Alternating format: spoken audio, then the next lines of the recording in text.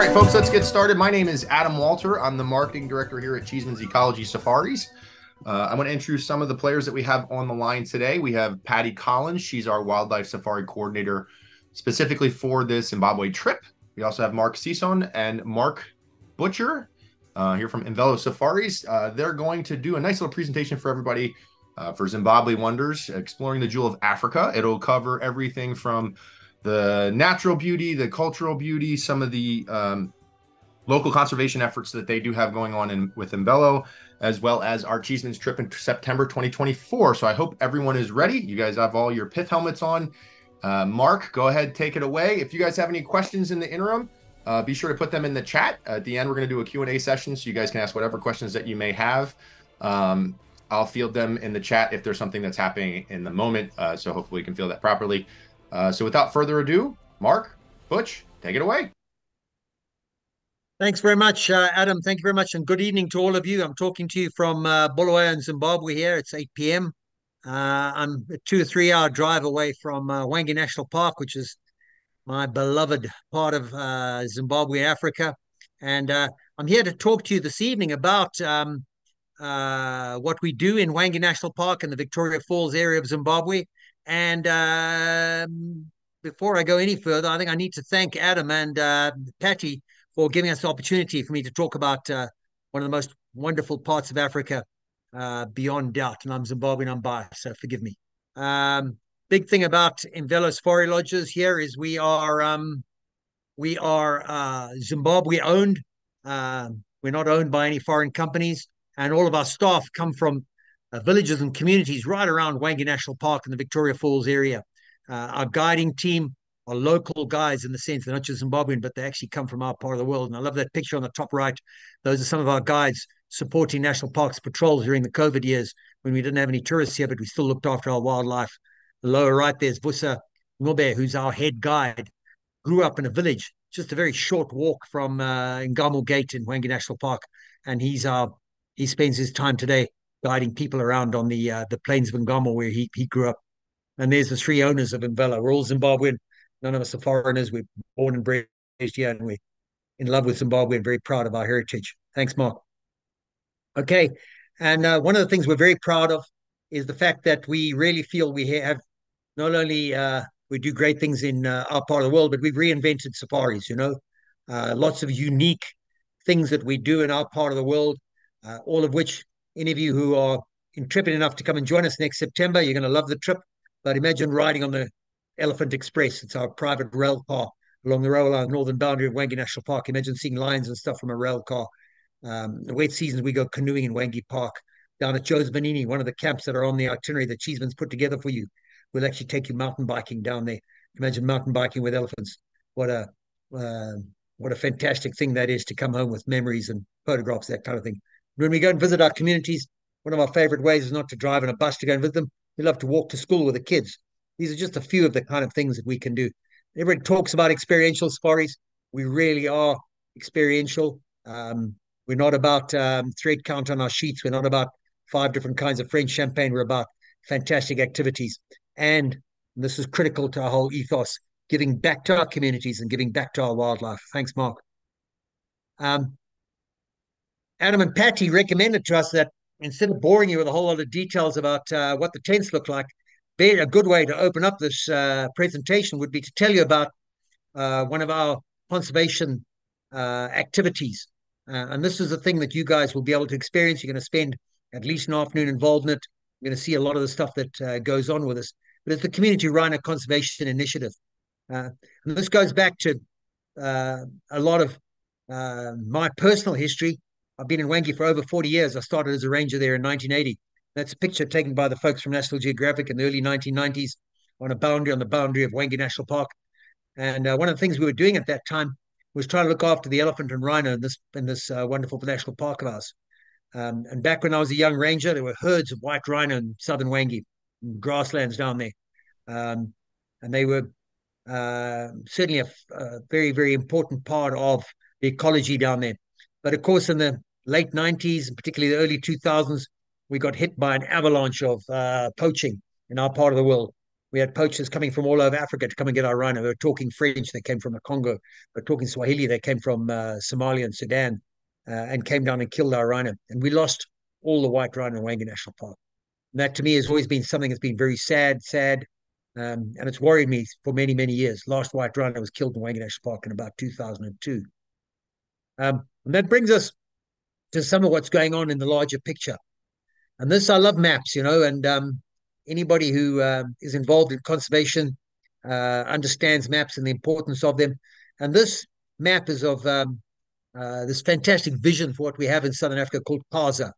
It's the Kavango Zambezi Transfrontier Conservation Area. It's this vision for what the future of wildlife might look like in our part of the world. Five countries, 14 national parks, half a million square kilometers. I'm not even trying to convert that to square miles, but it's vast. Okay. And within KAZA, and the numbers from the elephant count that was conducted in uh, last year just come out 232,000 elephant. Okay. By far the majority of the planet's population of African elephant lie within the boundaries of, of this vision for the future that we call KAZA. But what is also significant is the fact that there's less than 200 rhino, both black and white, that may be as few as 100 or 120 in that whole vast, uh, incredible conservation area and vision for the future. The scarcity of rhino is significant. When you narrow that down, the Hwange National Park, which is the oldest national park in what is today KAZA, is 5,000 square miles, nearly 50,000 elephant. Um, but we have less than 10 rhino here. They're black rhino. There's a small vestigial population of uh, rhino that survived the poaching onslaught up in the northern part of the park. They're not even a surviving population.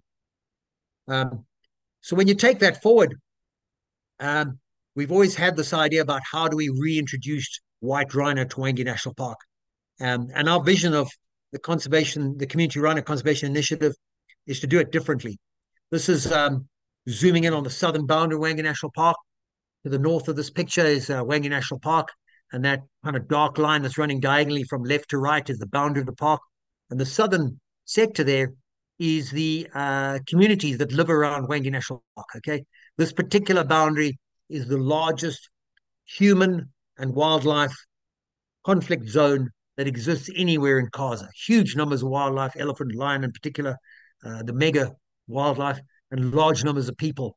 Um, and every one of those icons on that map represents a community project that our organization has put on the ground uh, in those communities. And it might be school feeding, it might be school libraries, it might be classroom blocks, teachers' blocks, it might be a, a solarized uh, borehole, it might be a new borehole. But even though we've done all of those things, and when you guys come and visit us, we I can certainly give you the, the numbers. Um, hundreds, hundreds of thousands of school meals every year. Uh, many, many thousands of patients treated by our uh, medical outreach. But all of that has still not been enough uh, for these communities that are really disadvantaged that live around our, our protected areas in, in this part of Africa. So that kind of led us to the next step, you know. And the next step was an interesting one because we said, okay, if we're going to reintroduce rhino into Hwange Park, what about reintroducing rhino instead of into the park per se on government land? Let's reintroduce them into community land. Okay, and that's my partner standing up there in Jabulo Zondo. He and I have been partners since 1996. I'm a game ranger. He's a social scientist. And he's got great skills in talking to people at every level of Zimbabwean society. But in particular, in this photograph, illustrates talking to uh, elders from the communities and the villages around the park. Okay, both men and women. And what he's talking to them about is hey, guys, what about setting aside some land on your uh, community land and let's reintroduce rhino? Let's not put them on government land, but let's put them on community land. Uh, and what came out of this was uh, just before COVID hit, uh, right at the beginning of COVID, was these communities stood up and said, okay, we're going to set aside 200 hectares uh, for you guys, about 500 acres of their prime grazing land. It's around Camelthorn Lodge, one of our lodges next door to Hwange National Park. And we know it's traditionally was white rhino habitat back in the day. They said, okay, we're going to set aside land for a rhino sanctuary. Okay, the Mvelo Ngamo Rhino Sanctuary. Uh, and during 2020 and 2021, the terrible COVID years, these were the years that we developed the rhino sanctuary. It was really exciting because the first thing we had to do was, of course, find rangers who could come out um, and protect these rhino. We elected right from the beginning, we weren't going to hire ex-soldiers or ex-policemen or even ex-game rangers. We're going to hire youngsters out of the communities.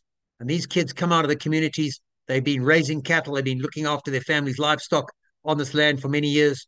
And we looked for the biggest, best, and the brightest. And obviously, physical fitness and strength, determination, uh, a little bit of uh, mental courage uh, goes to part of the selection process. And um, then we took these uh, young guys out and we trained them up to British Army standards. Okay. Uh, took several years. Uh, we decided we were going to train our rangers up to a level where they could stand up to the terrible uh, poaching onslaught that we we knew happened historically. It's going on in South Africa right now, in Namibia, and all over our parts of Africa. We wanted to make sure our rangers, we call them Cobra Rangers, nice sexy name for them, but they were going to be well armed, well defended, I mean, well uh, equipped, uh, badasses, you know. Uh, and when the guys came back to at us from Congo or from Sudan or whatever, they would not only be able to look after themselves, but they'd look after the rhino that they're going to one day be in charge of. But these badasses are not just badasses. They're not an anti-poaching unit. We call them a community wildlife protection unit. They look after wildlife and they look after our communities. And that's a nice picture from COVID. You can see all the face masks there. But what our Cobra Rangers were doing were delivering school meals to the schools in our communities, talking to the kids, talking to them about conservation, talking to them about our vision for the future back then of bringing rhino back to their communities. And how much fun is it for a bunch of school kids who are very, very um, bored with uh, walking around in face masks, but they learn how to march with the Cobra Rangers. Christmas time down at Mchayeli School. These are kids for whom uh, they had never eaten an orange, but they got a chance to eat an orange. It's better than eating pizzas and cheeseburgers, let me tell you, if you've never eaten, eaten an orange before. And suddenly, what happened is these Cobra Rangers became uh, heroes in their local community. Um, and this next picture kind of illustrates some of what what I suddenly saw. And the first time I saw it, I nearly fell out of my my vehicle as I drove past. But during break time, instead of playing soccer or football, what the kids were doing is they started to play Cobra Rangers.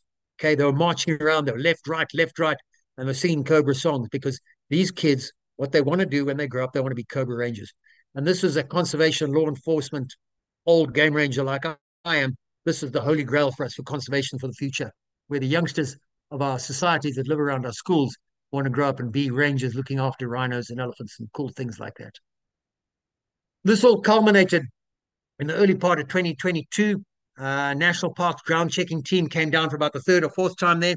Uh, ecologists, uh, security guys, local community leaders, and came together, and we were given a thumbs up. Okay, they said that uh, our rhino sanctuary was ready to go, and uh, we were given approval for our first two rhino uh, to come into our our uh, sanctuary. Okay, and we partnered up with the folks down at a place called Malilangwe in the southeast of our country. Um, it's a privately owned rhino sanctuary, and we presented to them uh, our vision for the future. And our little vision for the future was the Community Rhino Conservation Initiative. Okay, and this was going to be a rhino conservation model as well as a socio-economic uh, development model. Um, we went down to the folks at Malilangwe, and they gave us a thumbs up. They said they would support us and they would donate rhino to us. Um, and I went down there in the early part of May last year and found uh, I relived what I'd seen as a young ranger in Hwange, you know, herds of white rhino again, black rhino everywhere. These folks got over 400 rhino there. Last year they had nearly 50 calves. You know, it's an extremely successful rhino program. And it's also only a day's walk from the Mozambique border. Mozambique is obviously quite a wild frontier country where a lot of poachers come from. And these guys have done a fantastic job of looking after their rhino. And uh, early on the morning of 5th of May, that was the day was set aside for the capture of our two rhino that were going to come up to us. Helicopters arrived, diesel in my car and checking the pressure in my tires and doing all kinds of things. But by 7.30 that day, they'd located the two rhino from us. And there's a legendary vet, Chris Foggin, hang out the side of that uh, chopper there and managed to get a couple of darts into the first rhino, which was for us. And his number was 803. He later became named Tuza. And you folks that come and join us in September will be uh, be able to meet Tuza and Kusasa. And uh, Tuza actually took two um, uh, dart loads of tranquilizer. You can see them in his bum there, M99. And uh, straight after being tranquilized, we fitted him with a, a, radio transmitter on the side of his horn. You can see the knob there. And uh, next thing is you wake them up about halfway and you've got to load them into a truck. Um, so you reverse the M99 with a, a drug called M5050. Um, and we get them up on their feet and then uh, secured with ropes and blindfolds, get them into that rhino crate That rhino crate is then swung onto the back of a big six-wheel drive vehicle, um, and from there he's transported from the field where he's been captured to a holding boma. And The boma is kind of like you guys might call it back at Malilangwe headquarters, where he was held. Then we went out and fetched the second one. And by lunchtime that day, we caught two rhino, 803 and 204. And uh, they were in the holding boma there, where they're going to settle down and make sure there's no post capture stress. And um, we'd come back and pick them up. Uh, I returned to Malilangwe on the 21st of May, a couple of weeks later. The rhino had done well, they'd settled down, they were very close friends already. We knew that. And um, we got we had to do things in reverse now, tranquilize them again and load them onto the crate and then start that very long road trip all the way from the southeast of our country, Malilangwe there next to Gonarezhou National Park. Uh, 720 kilometers, nearly 500 miles, 17 hour road trip across our country. Uh, we started about 6 or 7 p.m.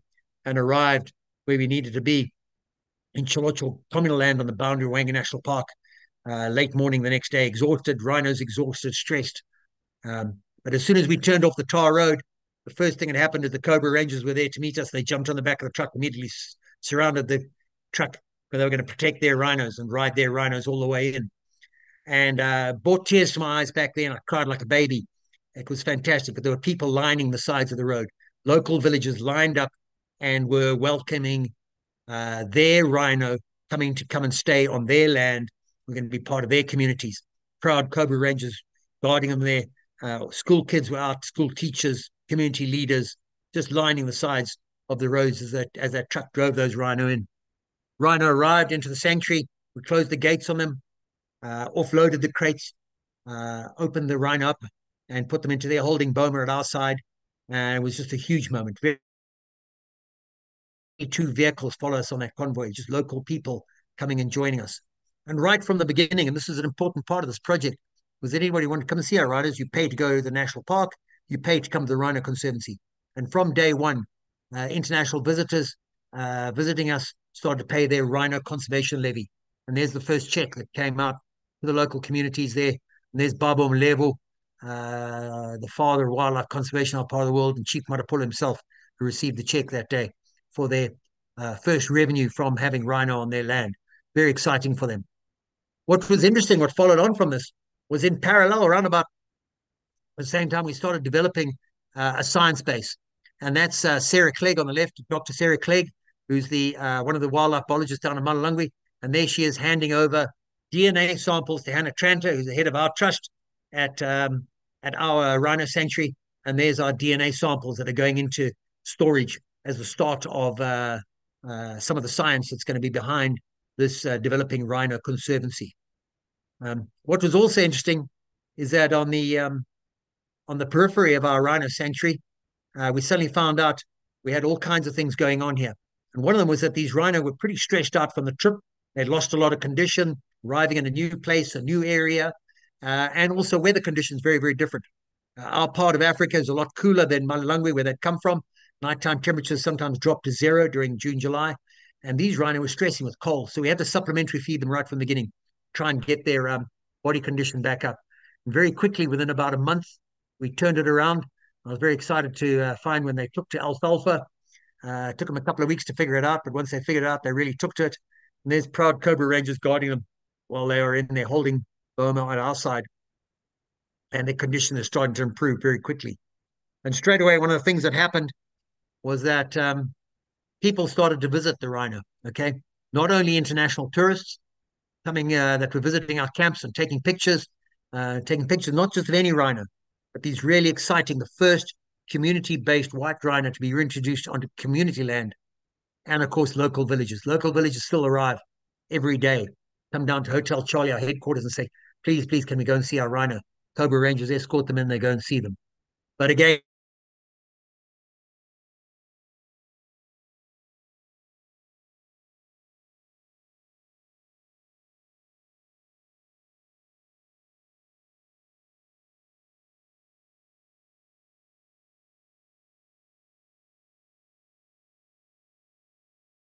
always culminates in a visit down to Hotel Charlie, where they get talk about rhino, rhino conservation from the Cobra Rangers. They get a, a bottle of uh, Mazoe orange as well. That's Zimbabwe equivalent of Gatorade. and everybody loves their uh, Mazoe orange. But uh, best chance for these kids is to now meet these legends, these Cobra Rangers. And on the right, there's Kwanele Ncube. Uh, his nickname's actually Poacher. Uh, and he's talking to these kids. What's he talking to those kids about? Talking about rhino conservation, He's talking about conservation. He's also talking to them about, hey guys, you see a stranger uh, in your village, you see a stranger driving around or looking around, be sure to tell your folks, tell your teachers, come and tell us there's a stranger in the village and let's check him out. Make sure it's not one of the baddies come down from up north to come and get our rhino. So straight away, we've got hundreds and hundreds of young eyes on the ground, keeping their eyes open. And of course, everybody loves the picture at the end. Get the picture with your orange before you head back to the village, uh, where you're going to go and tell stories about Kuza and Kusasa. And keep your eyes open for strangers. Um, look at that picture there. I love that picture. There's our Cobra Rangers, so terribly proud. Uh, they've now got jobs in an area when in, uh, employment might be as uh, unemployment might, might be as high as 95%. These kids don't have to go elsewhere to South Africa to go and look for a job. They're employed walking distance from their village. They're trained up to be the best of the best. They're well armed, well equipped, well paid, and they're doing what they've been trained to do for the past two or three years. Um, real exciting stuff. And this picture here this little video uh, is going to tell you a little bit about what you can do when you come next September on this trip and you can come and interact with these rhino. And really, it's fantastic because, um, Mark, give me a thumbs up if you guys can hear sound on your side. I can't. Give me a thumbs down if you can't. I got a thumbs down. All right, I'll talk you through it. Okay, here's Tuzan Kusasa. Uh, and uh, we've got visitors coming from all over the world to visit them. Um, and the first thing that happens, of course, is you go down to Hotel Charlie, you get the talk, so you understand about the Rhino project, and you learn about it. And it's really interesting because it's uh, not only about international visitors, but also about what I've been talking about uh, kids and people from the communities to come and visit these rhino. And what I do love is that um, these rhino, because they're guarded 24 7 by the Cobra Rangers, have really become kind of habituated to the Cobra Rangers, which means when you visit our rhino, you can now walk with the Cobra Rangers and you can walk with these rhino. And man, you can walk within 10 or 15 feet to these rhino. And the rhino perfectly used to things because you're with the Cobra Rangers. And what a fantastic experience this is to walk with these fantastic beasts that are so threatened by uh, international gangsters and poachers that uh, now you can walk with them. Um, Look, guys, I'm sorry in Bulawayo here, I can't see any video, so you're gonna have to give me a a hand signal here about. Uh, all right, maybe we should just go on ahead there, uh, Mark. Let's go on to the next slide. Slides seem to be working better than video. It's probably Zimbabwean bandwidth that someone got something to do with it. All right. Whoa. Okay, so one of the cool things, and I think the next slide that follows on from here is um, fact that in parallel, uh, while we were developing the Rhino project, is we're also developing a, a, clinic at the nearby village. Okay, just a short walk from this Rhino uh, conservancy. Uh, we started to develop a, a, clinic, and what was interesting that that clinic services about five different villages, um, and all of the inhabitants of those villages were um, until we opened this clinic about a 25 kilometer walk. That's about 15, 16 miles from the nearest healthcare.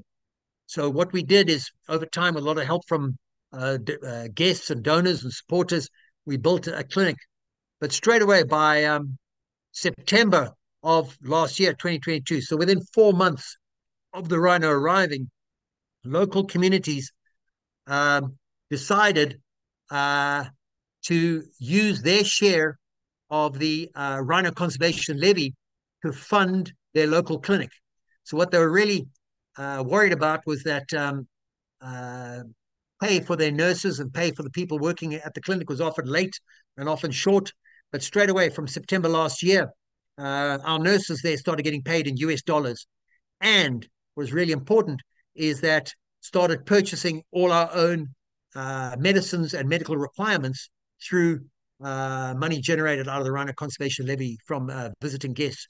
So this to me again is a kind of this iconic incredible moment when within four months of the rhino arriving, we had free healthcare for five villages straight away, all paid for out of bringing rhino instead of onto some national park or into some rich white guy's conservancy. We put them on community land, and straight away it started changing lives. very, very exciting for us. Go on to the next slide there, Mark. Um, next thing that also follows here is we started collecting immense amounts of data. So every 15 minutes, we record a set of data from these rhinos. We've got patterns on their movement, which parts of the habitat they're using at different times of the year, different times of the day. We already know more about rhino in this uh, ecosystem than we knew from all the years I was a game ranger and the, the years that white rhino existed in Hwange National Park. And um, all kinds of fascinating data we're getting here in terms of what their activities are, uh, feeding, resting, other, uh, and comparing their condition and comparing that with rhino elsewhere in Africa, in this case with KZN. Really interesting to be able to get a, really good handle on it. And the bottom line is applying some science listing, our rhino flourishing. They really are flourishing. They they're in good condition. They are really settled down, and they've it's really exciting. So we're calling phase one of this rhino program a, a, a success. In fact, it's an incredible success. But it's not just going to end at phase one. Phase two is ready to go. We've got another sanctuary all set up. We're just simply awaiting arrival of our rhino, and I hope it's uh, imminent.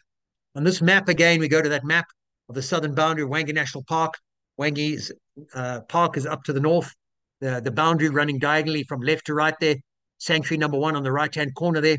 That's where it is. Um, and the vision for the future is not this just one sanctuary, but a second, a third, a fourth, and a fifth sanctuary. Okay. Each sanctuary with a bunch of Cobra Rangers looking after a small number of rhino in a small area so they're well protected, 100% protection, and one day link them together into a free ranging rhino conservancy uh, between the park and the communities. And God willing, there's the holy grail for the future, reintroducing rhino back onto uh, this fantastic wilderness we call Hwange National Park. It's really exciting what's unfolding. And folks, you come and visit us in September next year. You can come and see it. You can come and taste it. You can come and be part of it. Um, without further ado, then um, the next part of this presentation is uh, uh, what we're planning for you for next September. Um, and uh, this little map here uh, shows you the northwestern part of Zimbabwe, uh, Victoria Falls up in the northwestern corner. It's this bucket list place that um, adventurers from all over the world want to come and visit at least once in your life.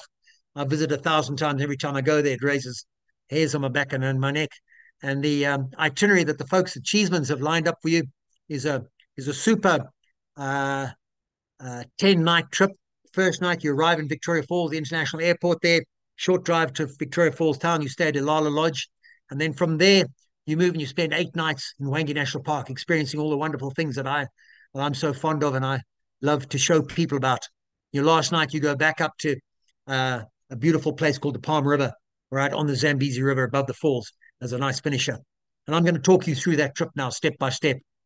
First step, there it is, Ilala Lodge. It's a small boutique hotel, well known for great service, good food, uh, great comfort. And uh, on the front veranda there, you actually get hit by the spray from the falls uh, on a cool day. And there it is, Victoria Falls, one mile wide, thousand feet high, biggest curtain of falling water uh, in the world. Okay, on the Zambezi River, it's just an absolute joy. You can see the rainforest on the right hand side there as you walk along along the face of the falls and enjoy it. This is a picture from late September. The uh, Zambezi River will be low, not so much spray, which gives you a great chance to see the falls and take pictures. Um, and it's just beautiful. It really is. Like I say, I've seen it a thousand times and it still raises the hair on the back of my neck. From Victoria Falls, we're then going to take you on day two after your arrival, take you down to our camp in the northern part of Hwange called Nehimba. And Nehimba is just fantastic. Um, this is a late dry season picture. This might have been taken in September. Conditions there dry, uh, waterhole right in front of camp. Camp is in a semicircular in an arc around the waterhole and just thronged with big wildlife elephants, buffalo, uh, lions, all kinds of stuff coming into the waterhole there. And you can see them right from your front deck. That's a picture taken about four o'clock, three o'clock in the afternoon. It's absolutely awesome. Uh, lots, that picture on the top left there, uh, swimming pool, you can see it there. Hwange's elephants don't differentiate between waterholes and swimming pools. And the ones at Nehimba, particularly solid, they don't really mind getting in the swimming pool. And they drink it dry by 4 or 5 p.m. And you're going to see this, that picture down the lower left you will get that photograph of yourselves next September, you eating dinner surrounded by elephants that are down at the waterhole there. An absolutely fantastic event. Uh, the lions there are awesome. Uh, this is the Pride horse. Horse was a famous matriarch that died last year, sadly. She built this incredible pride of lions. They're elephant hunters. They're buffalo hunters. They're just awesome, awesome lions. And you can see a picture of one of the uh, of the guest accommodation at the top right there. Very comfortable. We aspire to be four star. We're not five star, but it's very, very comfortable. Uh, ensuite bathrooms, flush loos, hot and cold running water, overhead fans, mosquito nets, and a beautiful outside shower on the deck there. Nothing more wonderful, in my opinion, than showering under the stars. And this next one is a video here. I hope it's going to play for you, but this you will see. Okay, this is the campfire at Nehimba just before dinner, and this is what you will experience. It is absolutely awesome. I say it's the best elephant show on the planet, and I'll argue with anybody that it is the case. Uh, give me a thumbs up. Everybody can see that video there. Playing. This one's playing, huh? Good, great. It's just, that's it. September next year. Uh, this is something that just, again, I've watched it hundreds of times, and just every time it happens, it thrills me. All the interactions between the bull elephants, interactions between the breeding herds. Absolutely fantastic. One of the wonderful, other wonderful places near Nehimba are the Nehimba Seeps. This is the one, one of the few parts in Hwange where the elephants dig for water. Great place for sundown as an adult beverage. And of course, this is where these elephants come and uh, get salts and throw this, uh, throw these white salts on themselves. I call it war paint. Makes for some great photography. Um, these old bulls that come in from the west and cover themselves in war paint. Um, that's our current uh, male in charge of uh, Nehimba Pride. That's a photo Mark took last year, tail last year. Wonderful picture he took of the, the lion we call um, Stranger. Uh, story about why it's called Strange, I'll tell you. We can tell you around the campfires next year. He's a gorgeous lion, um, and a uh, a father to a whole bunch more cubs. Let me tell you. Um, this next picture is cool as well because it tells you about some of the things. We don't just do game drives in Hwange. We love to get out on foot. And you guys next year will get a chance to walk. Um, and uh, Zimbabwe's pro guides are, we say we're the best in Africa, and arguably we are. We have a six to 10 year training program before you're licensed to walk with a rifle in a national park. And uh, nothing quite as exciting as getting up on foot with Hwange's wildlife, and particularly these huge uh, six ton, 13,000 pound, uh, 12 foot the shoulder bull elephants that are just uh, Hwange's elephants, well known for being well mannered, but still exciting and thrilling. And this is kind of a cool picture too. This is one that Mark put together. These are photos he took last year the photos of some of the birds and bird life, all these exotic birds, all kinds of stuff, not just uh, the iconic, sexy, large mammals, but all these wonderful birds, birds, uh, reptiles, insects, all kinds of fascinating things that are going on. Uh, and I love the fact that you guys call yourselves ecology safaris, because nothing more we like doing than talking ecology. And of course, at the waterhole in front of camp, what a great place to have an adult beverage in the evening, watch the sunset. This is a fantastic way to end a, a day when you're on an African safari and when the elephants are coming down to drink. Um, our next stop on this trip is going from Nehimba. We're going to fly you down to Jozibanini in the deep south. Jozibanini is arguably the wildest and most remote uh, tourism facility in Zimbabwe and probably in southern Africa. And we're going to fly you down there uh, in one of Mack Air's wonderful uh, caravan aircraft, turboprop, wonderful $2 million aircraft down, land at Lubudi airstrip and eight kilometers away, five miles away is Jozibanini. Joe's Benini is old school safari to me. Okay, this is comes takes you back uh, to the good old days of safari. And I'm an old man. I apologize, but I talk about the good old days. Uh, bucket showers under the stars, fantastic. We've got running water. We've got electricity there for you to charge your uh, phones. Um, but these these decks at night, that um, when there's not too many lions around, you can drag a uh, drag your bed out on the deck and enjoy the star bed. Lots of wonderful activities at uh, Josie. Uh, they talk about off the grid pure remoteness. No doubt, great description of what Josie is. Tents are comfortable. You can see how big they are. Um, uh, nearly 10 meters long, so that's nearly 30 feet long. Stand up inside. We're not talking a pup tent here. Nice and comfortable. Elephants in camp there. You can see the photographs.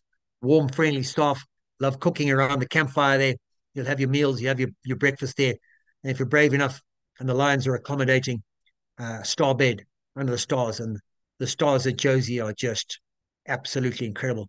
Uh, we had one English guest a couple of years ago who said, Joe's is definitely not a five star camp. It's a five million star camp. Oh, it's a great, uh, a great description of what Josie is. Um, one of the best things about Josie is about getting out on foot and getting out on bicycle. And there I am on my hands and knees, waxing lyrical again. I've got a bit of a grimace there, but talking about the ecology of how Southern Hwange works. And uh, you're looking at some of these incredible sites Hwange's most famous for its elephant. Uh, it's about 90% of our biomass. And uh, you can go in vehicle, go on foot. We go on mountain bikes down there if you would like, if you're up to it. And of course, uh, dining under the stars at Jozibanini, where I listen to the elephants and the lions, is uh, it's just absolutely awesome. And as I say, it takes you back the bygone era of safaris. Um, but one of my best places we love to spend our afternoons is inside the lookup blind. Okay, we buried a 20 foot shipping container uh, and steel reinforced it down at uh, toe level, toe nail level amongst the elephants. And it's literally, uh, you can see the elephant there, uh, right, sniffing and smelling around the edge there. Just incredible way to spend two or three hours watching these elephants up close with them, really getting a far more insightful and deeper understanding of uh, some of the interactions that are going on with this fascinating, fascinating mammal. Um, uh, often you get splashed with water you up, up that close with wild elephant. Hey? These are not habituated elephant. These are wild. Hwange's famous, famous wild elephant. Great photographs. From Jozibanini, I'm going to take you up to another part of Hwange, okay? And we're going to do a, a road trip across Hwange, and I call it a pump run, which takes me back to the good old days when I was a game ranger. Hwange's unique in that it doesn't have any big rivers. Um, first warden came to Hwange in 1928, found they'd given him 5,000 square mile wilderness without a river in it. And Hwange's elephants would stay here during the their dry season back then, then would leave the park every year and would leave as protection and used to get uh, poached and hunted. And that was the one of the high um, one of the high years of um, ivory hunting trade in the 1920s and 1930s during the, the world wars of the 20th century. Where we are today is um, we pump water to uh, maintain our wildlife in Hwange. Uh, and this is a historical thing that comes from the windmills that Ted Davison put in the 1930s. We use solar panels today. When we drive north from Josie, we're going to drive north. We're going to visit and stop off at these water holes where Hwange's elephants and giraffe and lion and wildebeest and everything else drink, you know. And part of one of the things that the guys at Cheesemans have done is they're going to build a conservation element where all of you guys that are buying a safari, a small portion of your safari uh, costs will go into uh, a wildlife uh, game water supply project that we're going to do. And already today, I was talking to uh, my team or our team, and we've identified a whole bunch of um, solar uh, technology issues that we want to address for your program next year. And we're probably going to be purchasing uh, a half dozen um, more modern inverters. The inverters that we stuck in about 10 or 11 years ago are, are dated and not as efficient as the modern ones. And that's the kind of program we're looking at to uh, just um, improve uh, our efficiency in our delivery of water to uh, Hwange's thirsty herds. And those pictures on the lower right is of a similar project we did a couple of years back, where guests visited and uh, donated for actually helping our wildlife here. And believe me, there's nothing quite as wonderful as sitting next to a waterhole and uh, looking at Hwange's elephants enjoying some water, and you know you were partially responsible for delivering that water to these thirsty herds, get them through the dry season, waiting for the rains. Um, next picture here is uh, a cool one too because it it tells uh, something else. There, you know, it's all these wonderful species that you can see here. For those of you that have visited East Africa, uh, lots of species there, but you probably didn't see a lot of things like sable antelope and roan antelope. And Hwange's famous for our sable and roan. Uh, and you on the pump run, you you will see sable and roan uh, that are part of them. They're just gorgeous, gorgeous uh, antelope that you don't see many of elsewhere in Africa. And of course, there's nothing more fun, in my opinion, than uh, cheeseburgers and salads at one of the water holes when you're halfway up to your next uh, night stop. Uh, next to one of the water holes is at a, a water hole called Mfagazan, which will be um, where uh, here's a, a, photograph having a picnic lunch there, uh, plenty of cool drinks and maybe some adult beverages before you head on up to your next stop, which is going to be um, next stop on this trip is to uh, Bomani, Bomani Tented Camp. Again, this is a bit of a uh, an old school camp. Zimbabwean camp was built in the late 1990s we fixed it up a bit. Uh, uh, but it really is wonderful. Charming, old school safari. Um, you see those thatched roofs there. You can see the Serengeti tents, very comfortable inside. Um, they are also 10 meters at 30 feet long, uh, 15 feet wide, ensuite bathrooms, hot and cold running water, electricity in the rooms. We've even got Wi Fi in the rooms now. And uh, underneath camel thorn trees and looking out across the Ngamo Plains, uh, splash pool there. You can see the wildebeest and stuff coming down here. And of course, a lot more diversity here. At Bomani, you're on the Ngamo Plains. These are the biggest plains in Hwange National Park. Hwange is not famous for savanna grasslands, but here you have a very good chance to see things like cheetah and wild dog and all the wildebeest and things that inhabit the plains that you haven't visited elsewhere on this trip so far. And this is just a couple of pictures that Mark put together. And these are pictures he took in one day last year, uh, late season, also in the late dry season. Some of the species there, uh, Pride of Lions had made a kill. This was a very short distance from from Bomani, actually just about a stone's throw. Buffalo herds coming down to drink, cheetah cubs, and uh, cool animals like zebra and all the other stuff there, giraffe and all kinds of things. But uh, just a great place to spend the next couple of days. And of course, in in Zimbabwe, we're famous for getting on getting on with our wild dogs by getting on foot with them. Sneak up in a vehicle, park, everybody disembarks quietly, sit down. The next thing you're on foot with wild dogs. And believe me, I don't know if we can pull it off with your group next year, but we will try. And believe me, there's nothing, nothing as heartwarming, invigorating as being able to be uh, on foot with wild dogs in Hwange National Park. Um, um, our lions there, we've got a huge pride of lions as well. Uh, and the habitual you get some nice pictures here. There's a nice uh, whole bunch of young males and lionesses there, smiling visitors there, getting some great evening pictures. Uh, golden sunlight, uh, golden light for that uh, golden hour in the evenings. We have a look-up line here as well, a pan called Stoffy's Pan, and a great place for any of you who uh, haven't got uh, enough photographs yet to get down in the look-up blind up close with our elephant there at Stoffy's Pan and get a few more pictures. Um, this next picture is coming up. And for the life of me, I can't remember what it is. Here it comes on my screen. Okay, our next stop, one of their great activities here is to go into our local communities. Here it is. And, you know, um, I've seen on safaris throughout Africa community visits, but we really, ours are authentic. Okay, we really feel that we are embedded amongst our communities. We live there. All of our staff come from walking distance. They come from these villages. Um, there's a picture on the top right there talking with Headman Johnson Ncube. Um, I was with his father in the game department. A couple of his children work for me. I've known him since he was uh, my, you know, since he was a teenager. Loves to talk to you about things that go on in his village. Great way to start your visit is to actually get out and stretch our legs. We'll walk to school with the kids. A lot of our kids walk up to five miles going to school. We'll walk a couple of miles, walk to school the kids. Great way to break down barriers, not them and them and us, but about suddenly now we're walking together, we're singing a song together, kicking a ball, suddenly finding out each other's names. So by the time we arrive at school in the lower right there for assembly, everybody knows each other and it's become much, much, much less artificial. National anthem, Lord's Prayer before they start school. And then we go into the classroom, short 15, 10, 15 minutes with the kids. Uh, and the school teachers and the heads of our schools encourage us to bring visitors for a quick, short visit with these kids so the kids learn about tourists are not ET. You know, tourists are people, they're part of your community. They're coming to come and help your communities here. Great chance for them to practice English. Of course, much more fun for them than mental arithmetic, but a great chance for them to practice English, you know, one of our national languages. And of course, important for their futures if they've got a fighting chance for a job. And look at the grins on these kids here. They're all grinning and smiling for the camera. Real um, unartificial, authentic meeting Zimbabwean people, you know. I'm very, very pleased about what develops from these kind of visits. And of course, you'll get to go and visit our rhino. I already told you all about them, Tuza and Kusasa. You're going to go and visit the rhino on foot, in vehicle, and it really is. It's just fantastic. You get up on foot with them, and uh, I love that picture on the lower left there.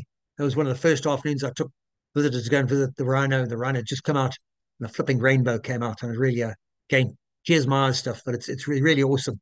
Had a great chance to meet these just wonderful animals that are so threatened by uh, humankind's greediness and uh, and uh, the worst side of uh, human nature.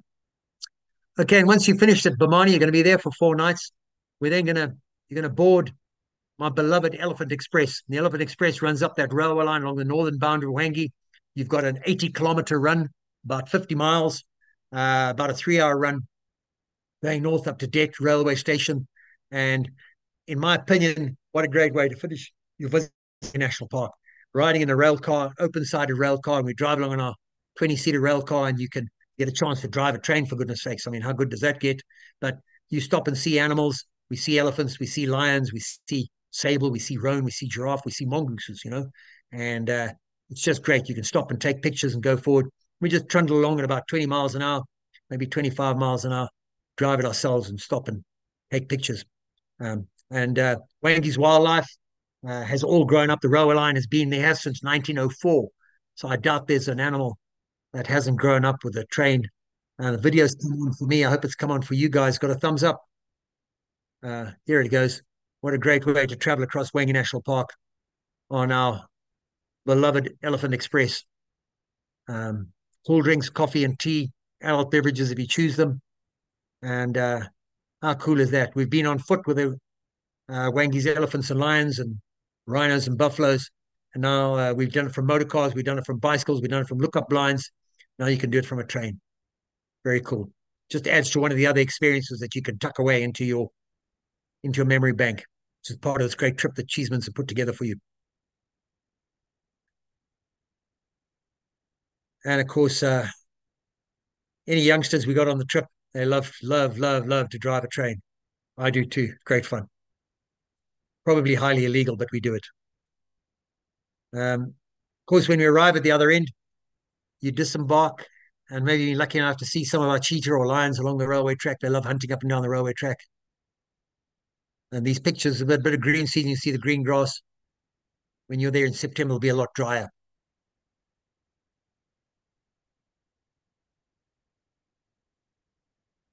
It was a birthday trip we did the one year. In this case here, these pictures are taken disembarking at Bomani. What you guys are going to do, you're going to disembark at the other end up at Det railway station. Det railway station, small little railway station, which is just a, a two-hour drive from Victoria Falls. You'll disembark at Det and then board on your um, uh, shuttle bus. It'll take you up the tar road, up to the Palm River Hotel. Palm River is one of the new uh, it's a hotel. It's a small boutique hotel right on the banks of the Zambezi River. It's beautiful. It's new. Service is fantastic, and just a great way to finish off. Nothing nicer than a sundowner cruise that evening on the Zambezi River upstream of the falls, hippos and crocs, beautiful sunsets, adult beverage, and then uh, uh, head back for a lovely dinner at the Palm River and uh, flop into your big comfortable bed, a big comfortable room, and think about all the wonderful things that you've experienced in Zimbabwe. Uh, of course, the next day we'll take you up to the uh, Victoria Falls Airport. And these slides we put in here going to help you um, just so you can understand a lot of different ways to get to Victoria Falls. Victoria Falls is fast becoming a, a hub in terms of air travel. You can get to it regionally from all these different places throughout Southern Africa, um, either from Cape Town, the direct flights every day. There's flights from Johannesburg every day. There's flights from Harare, which is our nation's capital, every day. They're going into the falls. So a lot of ways to get in and out of Victoria Falls. And there's even direct international flights uh, into Victoria Falls. Uh, Ethiopian flies uh, direct, well, I'm not direct, they fly one hop uh, out of O'Hare and Dulles airports to Addis Ababa to our layover, and you land in Victoria Falls. You can Kenyan Airways, you can fly direct out of uh, continental North America to via Nairobi to Vic Falls and Eurowings via Frankfurt. So all kinds of different ways opening up, be able to get in and out of Victoria Falls. You don't just have to fly via Joburg. Another great way is to fly via Harare uh, Emirates and Qatar fly daily uh, from Doha or Emirates, which hub easily out of North America, um, and then into Harare, our nation's capital, night over at a comfortable hotel there, and then you can jump on the flight to Victoria Falls the next day on FastJet. And of course, I'm a game ranger, and I'm particularly interested in uh, taking care of communities that are involved in uh, uh, particular area management. And uh, big thing is that we don't spend the money that you spend with us buying myself a new Mercedes Benz or uh, paying out to international stockholders. We spend our money locally, and uh, very very proud of our conservation community effort. You'll find a lot of organisations, uh, so-called tourism organisations in Africa, that uh, pay lip service to community conservation, but we do, and you will see it. We've drilled over hundred water wells uh, around the boundary of Hwange National Park. hundred water wells that delivering uh, clean, fresh, healthy water to thousands and thousands of families uh, our school feeding program in 2019, pre-COVID, we did 500,000 school meals. Okay, nearly 3,000 per day, over 3,000, nearly 3,000 kids per day were getting meals. Uh, last year in 2022, we did we built that back up to 420,000 school lunches. Actually, not to 3,000 kids, but to two and a half thousand kids. We've donated over 65,000 school curriculum school books. These numbers are easy to roll off, but when you see how remote some of these places are, these are school books delivered to schools where it takes four-wheel drive to get two hour drive and four wheel drive off at low range to get to them. And our Smile and See Safari, very proud of them. About to kick that off in about 10 days' time, week after next, with 30 doctors that come from overseas. Um, and they deliver both eye and oral health care to uh, people in our communities. Uh, and we've done 36,000 patients, maybe 100,000 treatments to uh, people around um, Hwange National Park. And this year we're going to take that number over 40,000. So uh, your uh, safari goes a long way to helping this kind of long-term conservation vision. And I spoke earlier about what our rhino have achieved. Uh, already we've had over 850 school kids have visited these rhino, and your tourism conservation levy that you pay as part of this trip goes to uh, providing free healthcare for these communities around there. Uh, we've created actually nearly 50 local jobs, not 30, since we've opened Sanctuary 2. And an area where um, unemployment is as high as it is, this is fantastic. This goes to this last slide. You know, we talk a lot about, I call it a holy trinity that may be sacrilegious, but as a conservationist, I believe it is. And this is the trinity between wildlife, communities, and visitors. And in many parts of Africa, particularly in Zimbabwe in the bad old days, we had wildlife and communities, but we didn't have visitors. So we didn't have the tourism dollar to to uh, drive this uh, ecotourism model, conservation model. But as soon as you add tourism to that, and you and you spend tourism dollars wisely, you can really come up with a sustainable ecotourism conservation model that's got uh, legs for the future. A lot of other parts of Africa, they've had wildlife and visitors, but they've disenfranchised their communities, and they're paying a terrible price for that in conservation. But uh, very, very proud of what we're achieving there. And of course, none of it works without support from folks like Cheesemans. And uh, a big, big thank you to you guys for uh, uh, seeing the advantages of uh, taking conservation minded tourists off of the beaten trail and off of uh, parks that are often too frequently used and bring them to places like ours and experience our part of Africa and believe me, I know this is a wonderful trip. I've done trips like this one hundreds of times, and every single one we have a, a heck of a lot of fun. There's a few things that'll go wrong, but nothing too bad that can go wrong. It's very simple, it's easy, uh, it's uncomplicated, and it's just awesome. So, any of you that are thinking about you've got some spare time next September, get hold of Adam, get hold of Patty, and they'll get hold of us, and we'll tie it up. And uh, you guys are going to have a, a wonderful, wonderful time. I can't guarantee what you'll see, but I can guarantee you'll have a good time. You'll see things that you'll never, ever forget. Uh, thanks very much for the opportunity to talk to you. And I hope uh, I wasn't talking too fast or too long. But uh, Mark, thanks for the work on the PowerPoint there. Um, Adam, if you guys got any questions or anything you guys want to catch with me here, I've I've got I've got time. I'll talk yep, about a trip like this all night long if you want it. Absolutely. Uh, I'm gonna I'm gonna allow everybody be, to unmute themselves. Uh, we have one question going in the chat right now. How do you stay safe from the big animals?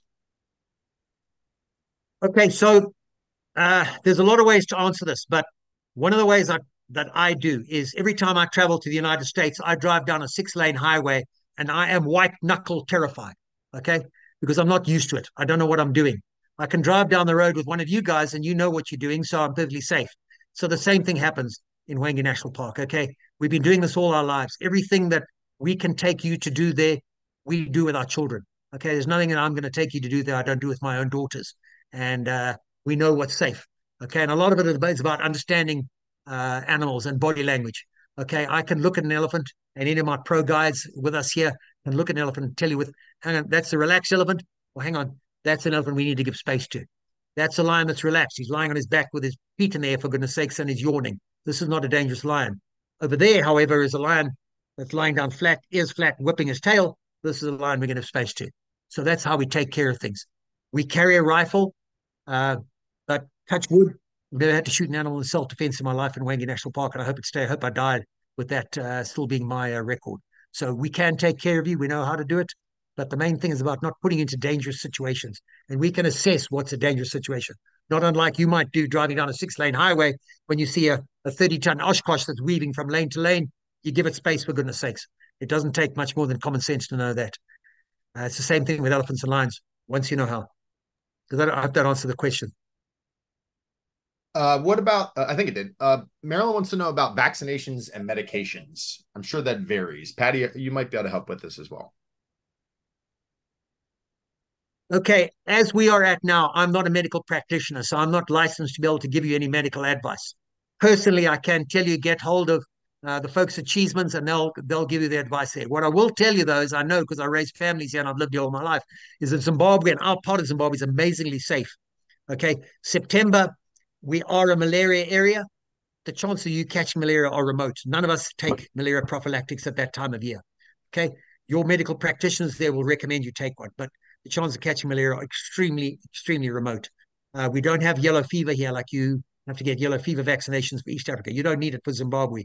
Um, you're, um, you are. We have medical um, uh, insurance where we can get you to uh, good health care uh, very quickly.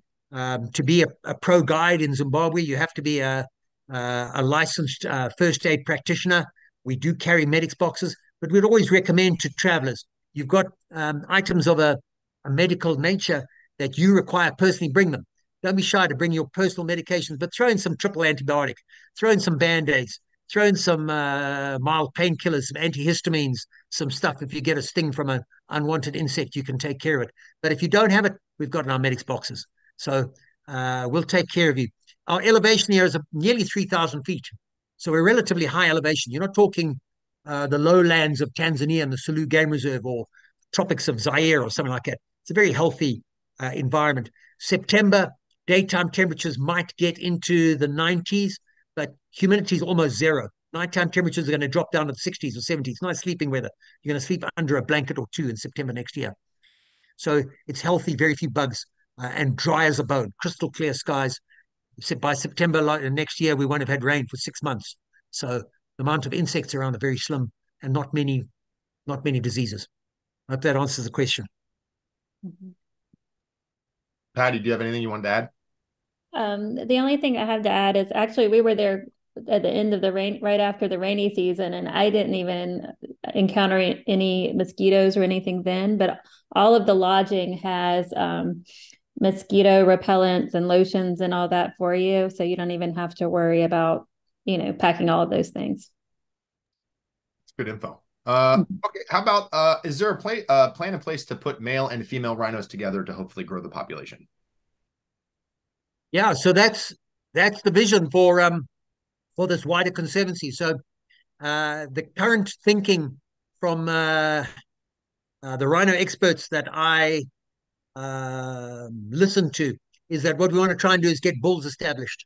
Okay, because if we have bulls established and then add more bulls to the mix, these guys that come off the trucks are going to be disorientated and discombobulated and frankly half tranquilized. So they're going to run into problems with any bulls that are already there. So the thinking is to get the bulls settled in. Once we've got all the bulls settled in, then we bring in females, and now we have a free, and then link those conserv- the sanctuary together with this free ranging conservancy. And this is something that's going to roll out over the next few years. Sanctuary two is going to open in the early part of next year with our next batch of rhinos, and I'm hoping within the next five years, you guys come back for your second trip in uh, 2029, uh, you'll be able to have a uh, experience of free ranging rhino conservancy. How do the rhinos typically react to visitors? Okay, so what's very cool about these rhinos, even though they're wild rhino, when they came off the trucks, they were wild and they ran away from us. But what's happened because our model is to guard these rhino 24 7, okay? We are perceived to be a high risk environment. These rhino are in a place where they were once poached out of completely. So we guard them 24 7. So what's happened is over the years, is or over over the months when they arrived, these rhino became habituated to the cobra rangers. These cobra rangers walking around them day and night. Uh, and white rhino are social animals, which makes them very, very interesting too, or different to black rhino. These white rhino like to be part of a social structure. And these cobra rangers have quite apparently become part of their social structure. So you'll see them, they're often looking around middle of the day looking for a place to flop down on, on a, a, shady spot. They look to see where the cobra rangers go and flop down next to them, um, which means when we're on foot with them and you walk with the cobra rangers, you can have this incredible experience uh, with these rhino. I often walk around the other side to take a picture of them and they'll run away from me. So they're not habituated to people just wandering around, but you're with the Cobra Rangers, you, you can have this incredible experience. So it's it's kind of it's it's very, very cool. And it's been a something I didn't anticipate would be uh, what it's turned out to be, but it's turned out better than I dreamed or hoped for. Yeah, we were we were I can speak to that as a traveler. We were so close to those um, rhinos um, and the Cobra Rangers look tough, and they are in their jobs, but they were so full of personality and had so much affection for the rhinos um, and so much pride in their work. We just enjoyed being out there talking with them, hanging out with the rhinos who were just super close. And uh, we asked the Cobra Rangers if they ever petted the rhinos. And they were like, oh no, that's like that was an absurd question but they're they're right there with them within you know feet of them and just have a really tender relationship strangely with these giant animals it, it's really beautiful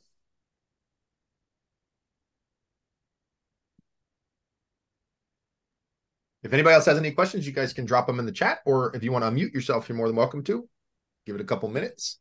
Uh, well i have a question about the safety of from the big animals. What about the ones like the lions and the elephants uh, when you're that close like sitting on a patio or a deck? And I know it looks like really alarming to me, but so um, yeah, that's my question. Which, you know, I guess it must be okay because you you guys are talking about it, but it does seem a little worrisome to me, and so I just wondered how that was that you could get that close to lions and not to be alarmed.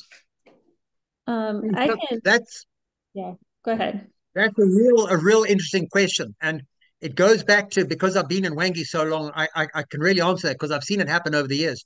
So when Nehimba Lodge was first built, uh, the elephant didn't just arrive and start drinking out of the swimming pool. That slowly developed over time. And what's happened over time, that lodge has been there more than 10 years now, is that the elephants have become used to people sitting on the patio. Okay. And they've literally become habituated to people sitting on the patio.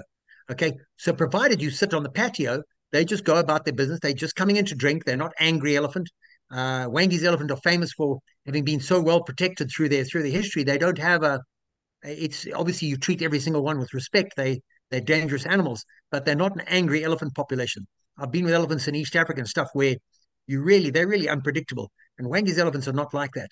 Provided you stay on the patio, it's fine. Now, however, if you walk around the other side of those elephants, they will freak out. They get a complete fright because they're not used to that. And the same applies with those lions. Those pictures I showed you with the lions that are with us in a vehicle park nearby. Now, those lions have grown up in that area. Uh, some of those lions, seven, eight years old, perhaps, but there's been uh, tourists from overseas have been visiting the lodges there for the past 10 to 15 years. So those lions grew up as cubs in that pride with people in game drive vehicles nearby them, completely used to that. Provided you sit still and quietly in the vehicle, they're habituated to that. If, however, you jump up and down and jump on the roof, those lions will freak out. So again, and we will talk you through that. So it looks dangerous, but it's about what the animals are used to and what they're habituated with. Now, if you're doing something like that, and we will be around you, we will explain to you, we can look at that animal and say, hey, that lion is perfectly comfortable with us being there because we can read its body language. It's like you can read the body language of a person when you walk into, I don't know, you might walk into a supermarket or something in the States. You can see somebody who's running around swinging a chain and is obviously crazy with drugs in his head or something. I don't know, but you can see the body language versus uh, some lady walking along pushing a shopping cart who's perfectly relaxed. So when you get used to it, you can read animals' body language like that. When we can see the animal, the elephants are perfectly relaxed, we know we're relaxed. If we see something happening where the animals agitated or something like that, we'll immediately say to you, hey guys, let's pull back. Uh, but our job, we're paid to take care of you. And like I say, uh, um, we will do it to the best of our ability. And uh, I certainly don't want to get killed by by an elephant. I don't want to get killed by anything. I'm enjoying life far too much. So uh, we will take care of you and ensure ensure that everybody's uh, comfortable. But what makes it exciting is these unique kind of experiences. You're not sitting in a car looking at elephants over there. Here's this chance to sit down and have these elephants right up close, where you can smell them and you can see them right up close. And it is so. I mean, the hair on my arms just stands up every time it happens, even though it's happened so often to me. And it's safe. I do it with my daughters. Thank you. Thank you. Yeah, um, I could comment a bit on that as far as just having such a comfort and trust in the uh, the guides.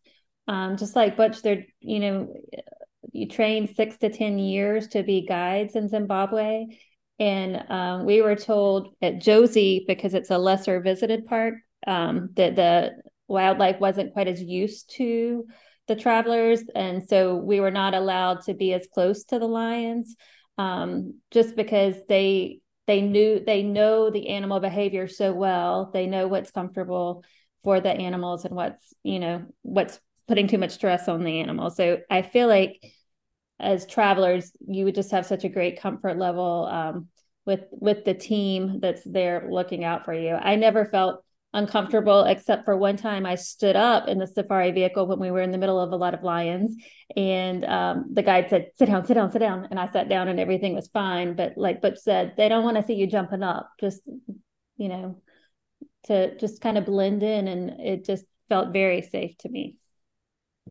Yeah. And I say this, Patty, to add to that, uh, the Zim guides are uh, just the training level that they have to go through to be a pro walking guide is quite extensive. So for me, that's done you know, quite a few safaris.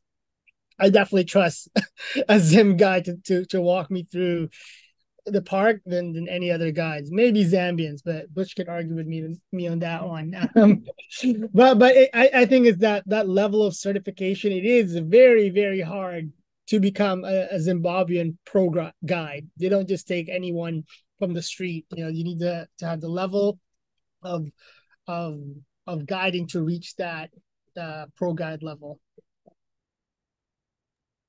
Butch, uh, someone asked if you plan to place a black rhino anytime soon. I don't know if that's bringing one in or placing one in the wild. Yeah, so, so part of our vision for the future of that rhino conservancy is for white and black rhino. Okay, we're kicking off with white because frankly, white are more easy to manage. Okay, uh, black rhino, you can't close quarter guard black rhino. They are just too cantankerous. So what was really important here was for us to have success, certainly in the early phases here. So we wanted to make sure that we that we could do that. And white rhino, the easy rhino. But yes, definitely. Uh, like I say, you come back on that safari in 2029. Uh, not only will be free ranging uh, white rhino with females there, but I'm hoping you'll see some black rhino wandering around there too. Uh, that is our vision for the future. But we have to do it very carefully. It's step by step. Communities have to be on board. And there's no sense just bringing a whole lot of rhino and keeping our fingers crossed. We have to build capacity to look after them. And this is crucial. In other parts of Africa, there have been a lot of rhino introductions and they've lost a lot, frankly, because they didn't have the capacity on the ground to take care of those rhino. Um, and that doesn't come easily. It comes with time and training, and we're doing it the hard way. We're doing it the right way. Uh, and God willing, uh, it's going to work. And then how about birds? Uh, how are the local guides and yourself with all of the bird community? I'm sure we have birders in the audience. Yeah, so so you know, uh, you won't find a Zimbabwean guide that's not nuts about birds. Okay, um, birds we're very very proud of. Uh, Hwange National Park, Victoria Falls area, has the highest avian diversity of any park in Zimbabwe, and one of the highest avian diversity of any park in KAZA, frankly. Uh, and Mark's a big birder as I am, and you saw that picture of all those birds he took in one day there that he showed you, all kinds of cool birds uh, different things that you might not have seen. So, yes, um, one of the requirements of becoming a guide in Zimbabwe uh, to get your guiding license, and I used to be an examiner, I don't examine anymore, but I examined for many years. We take you out for a week into a park, and you better know every single damn bird we see, and you better uh, be able to identify every damn bird call we hear. Otherwise, frankly, you're probably not going to pass. We're going to tell you come back next year. So we're not 100% on our birds, but uh, we certainly will be. And anybody who likes to see birds, man, we love it. We love it. So if you're a bird watcher, come on in. We'll have fun. love it. Does anybody else have any more questions? All right. If nobody has anything else, we'll do an adieu. Folks, I'm going to post right now all of our trip itinerary. Patty, who's the wildlife safari coordinator, her contact info is in there as well as our social stuff. So you can follow us. I want to start and finish by thanking both Mark and Butch for the presentation. It's completely robust. Um, the comments in the chat have been phenomenal. You guys did an awesome job. We hope that this stirs up a lot of interest about Zimbabwe and what you guys are doing and the efforts that you guys are making. They're absolutely phenomenal. Folks, if you guys have any questions, never hesitate to reach out to Patty or anybody at Cheesemans'. You can reach us by phone, email, uh, or on our website. Thank you guys so, so very much. What a great way to start our morning, at least here on the West Coast. Um, what a great presentation. Thank you so much, guys. I appreciate it. Thank, Thank you. Thank you. Guys, uh, also, I'm going to be putting the recording of this video up on YouTube in the next 24 hours. So anybody that missed it, or if you want to watch it again, you should be able to find it. Um, I'll post that on our website as well as our socials so you guys can find it and send an email out to this entire group so you get a, a link for that as well. Thanks, guys. I appreciate it. Everybody have a great day today.